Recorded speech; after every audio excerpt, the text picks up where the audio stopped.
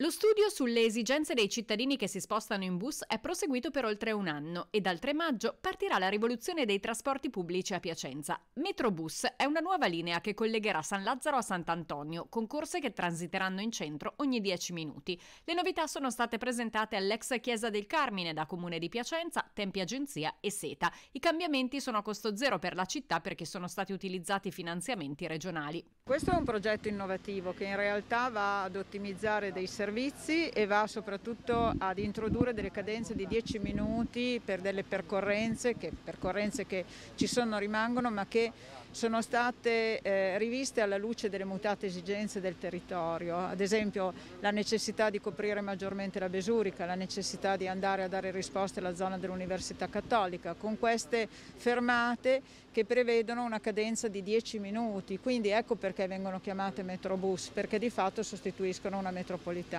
Questo vuol dire dare una risposta anche dal punto di vista ambientale perché incentivando l'utilizzo del trasporto pubblico e offrendo un servizio più eh, incisivo andiamo a disincentivare l'uso dell'auto. Nei prossimi tre anni arriveranno a Piacenza 60 nuovi mezzi che abbasseranno la vita dei bus da 12 a 9 anni. Saranno in parte a metano e in parte ibridi. L'altra novità riguarda i biglietti. Progressivamente tutti i mezzi del servizio urbano di Piacenza saranno dotati di dispositivi che consentiranno all'utente di poter salire a bordo senza dover acquistare preventivamente il biglietto e di pagare direttamente con la carta di credito. Chi fino ad ora saliva sulle linee 2 o 3 del trasporto pubblico o sulla navetta Piazza Cittadella Piano Caricatore, da lunedì salirà alle stesse fermate sul nuovo Metrobus.